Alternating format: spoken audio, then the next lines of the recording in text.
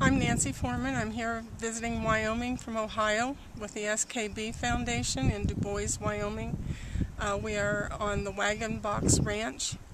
What I'm going to be demonstrating today is a design sketch.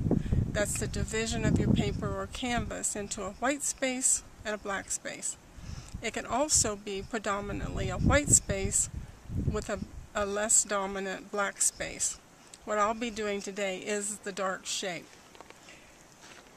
We have a barn setting out here and uh, I'm pretty much going to work like a contour drawing in that I'm going to set my magic marker down and I use a magic marker so that I will not do too much drawing as far as detail. What I want to get is the sketch.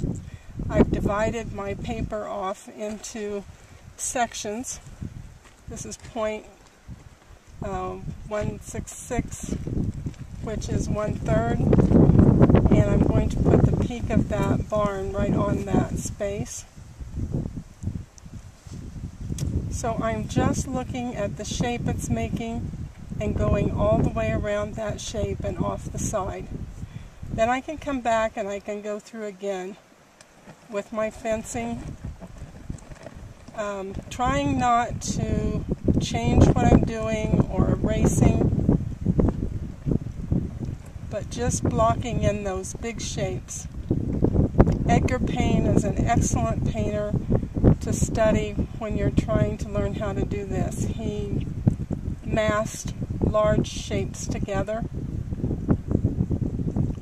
And then you want to look at that shape and find out whether it's pleasing to your eye or not. And then you will go ahead and finish your drawing onto your canvas so that you have the same shape that you started with.